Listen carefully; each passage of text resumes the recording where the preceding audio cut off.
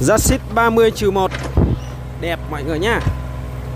À, Hôm nay thì bên mình ngại về một siêu phẩm Justice 30 trừ 1 Giá thì rất là hợp lý với à, quý anh chị mà đang lập nghiệp. À, quý anh chị nào đang có cái vườn nhỏ nhỏ mua dòng này về để làm vườn thì cực kỳ là ok rồi thay sức người mọi người nhé ở đây thì tôi nói rằng máy thì cũ giá thì nó vừa tiền. Đó. máy thì làm rồi nói hàng luôn để cho quý anh chị nào mà đang có nhu cầu mua dòng này ấy, thì ờ, mình ờ, sẽ cân đối. Máy thì chúng tôi đã có làm rồi chứ không phải là không làm đâu. Đó. Và quý anh chị nào đang có nhu cầu mua dòng này thì cứ liên hệ trực tiếp số điện thoại của chúng tôi ở góc trái màn hình video. Giá thì nói chung rất là hợp lý vừa túi tiền của anh chị. Và chúng tôi à, máy móc như nào chúng tôi sẽ nói ngay từ ở trên cái video này cho quý vị biết. Chứ không có giấu giếm bất cứ một cái điều gì ở trên con máy này cả bây giờ thì xin chào hẹn gặp lại tất cả mọi người.